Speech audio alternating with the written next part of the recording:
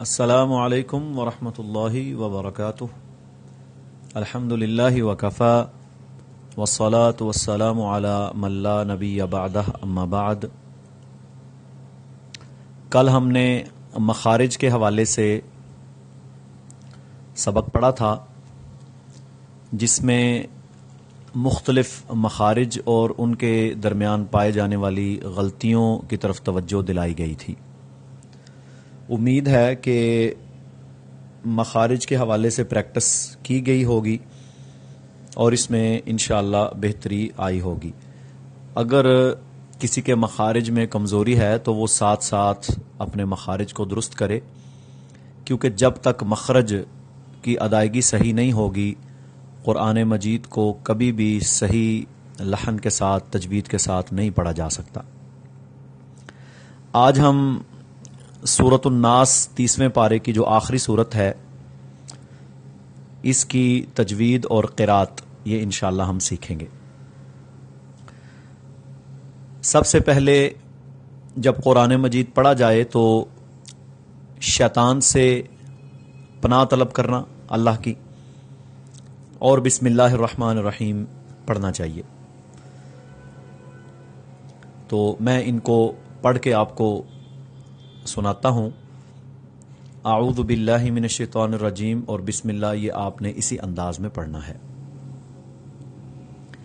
आऊदबिल्लिमिनशैतरजीम बिस्मिल्लाहिर्रहमानिर्रहीम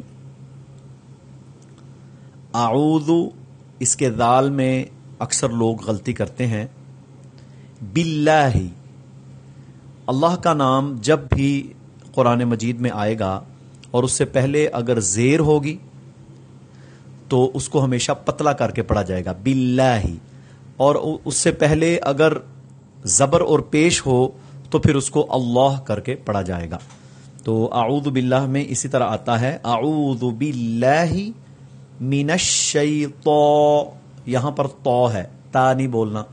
निर्रजीम, बिस्मिल्लाह। यहाँ पर भी अल्लाह के नाम से पहले जेर आई है, कसरा आया है, जिस वजह से इसको बारीक पढ़ा जाएगा। बिस्मिल्लाह।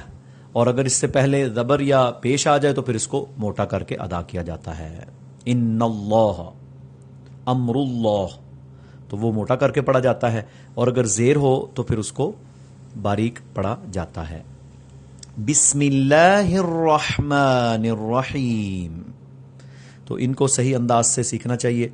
इसके बाद है, कुल आऊदु बिरब्बिन्नास मलिकिन्नास इलाहिन्नास ये जो तीन आयात हैं, इनमें एक उसूल कार फरमा है, और वो है गुन्ना। गुन्ना जो होता है, ये जब नून या मीम पर शद्दा आ जाए, यानी तशदीद आ जाए तो उसको हम गुन्ना के साथ पढ़ेंगे, और इसमें आवाज़ आपने नाक से निकालनी है। गुन्ना में आवाज़ आपने नाक से निकालनी है, और इसको कम अज कम एक अलिफ जितना लंबा करके हमने पढ़ना होता है। एक अलिफ के बराबर इसे लंबा करना होता है। और इसमें अलिफ जितना इसको लंबा करना पड़ेगा। हमारे यहाँ अक्सर लोग पढ़ते हैं, कुल आऊजुबिरबिन्नास मलिकिन्नास नहीं, इसको लंबा किया जाएगा।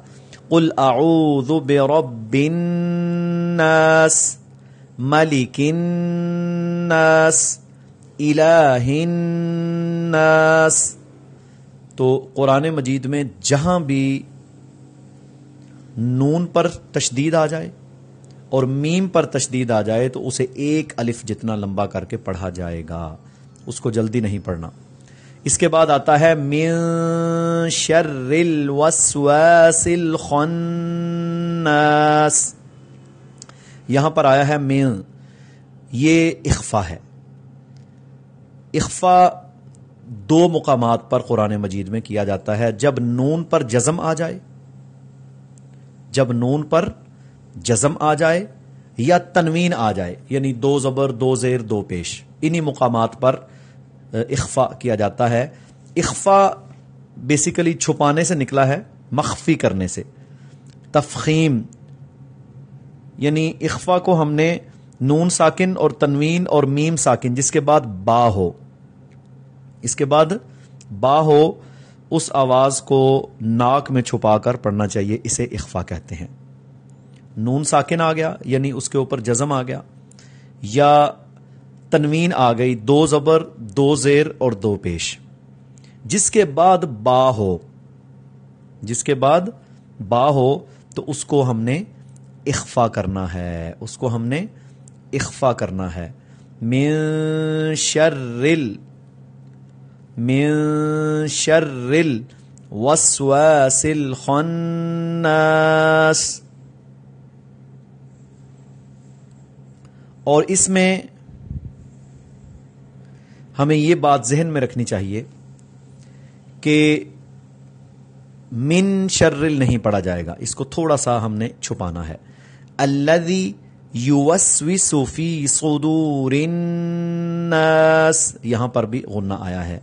मिनल जिन्नति वन्नास आपने देखा कि हमने जहाँ पर भी जो उसूल आया, उसको उसी के मुताबिक पढ़ा। सीन है तो सीटी की आवाज़। सौद है तो उसको मोटा करके पढ़ा जाएगा। यानी इसमें जब भी हमने कुरान मजीद को पढ़ना है तो जो प्रिंसिपल्स इख्फा या गुन्ना जो आपने सीखे हैं, उनको हमने बाकायदा बाकायदा इम्प्लीमेंट करना है, यानी उनका नफूज करना है, उनको ऊपर लागू करना है, ना कि याद तो सबको होते हैं, लेकिन अक्सर लोग उसे भूल जाते हैं।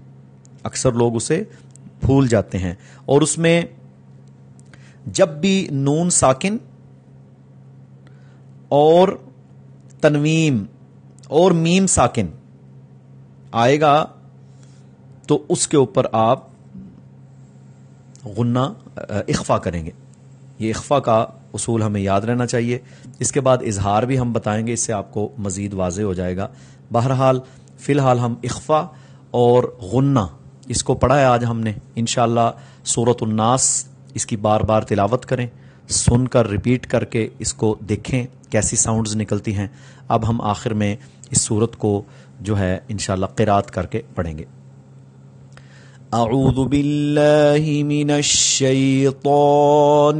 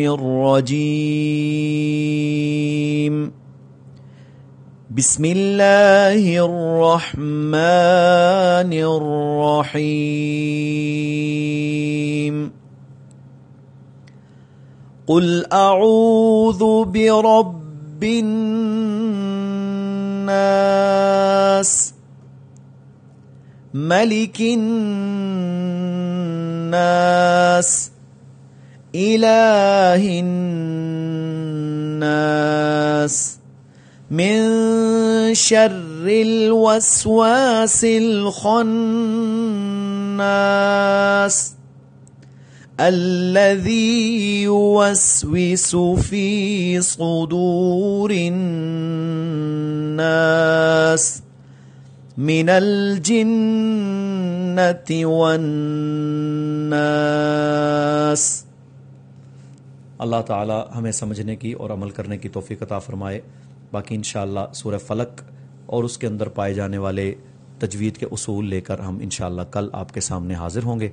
अल्लाह हमें अमल की तोफ़ी दे। असल वरहमल वर्का